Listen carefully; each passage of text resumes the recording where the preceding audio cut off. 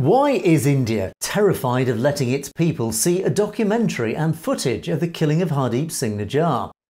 A few days ago, the Canadian broadcasting company's The Fifth Estate was released on YouTube, a 45 minute documentary examining the murder last year of the Khalistan campaigner on Canadian soil.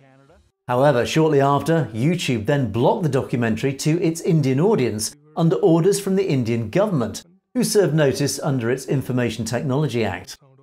The documentary, titled Contract to Kill, showed exclusive security video of Nijjar being killed on June the 18th outside the Guru Nanak Gurdwara in Surrey, British Columbia.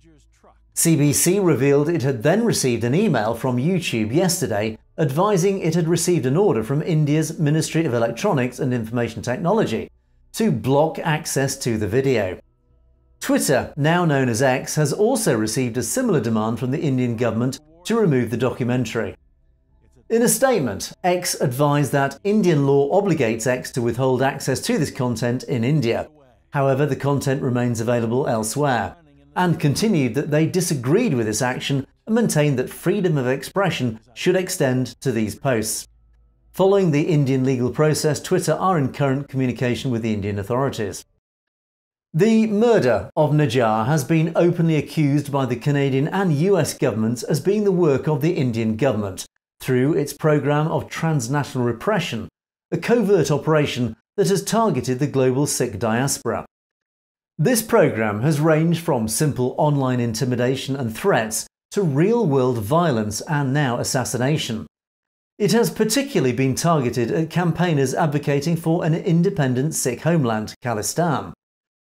It's believed the program ramped up after the 2021 farmers' protest when India's National Security Advisor Ajit Doval, together with Narendra Modi, identified the Sikh diaspora as being a powerful force behind the protest and thus decided to begin assassinating key figures in the diaspora. Now, with the release of the latest evidence of their involvement in the illegal assassination program, the Indian government is clearly fighting hard to ensure the truth is now kept from India's population.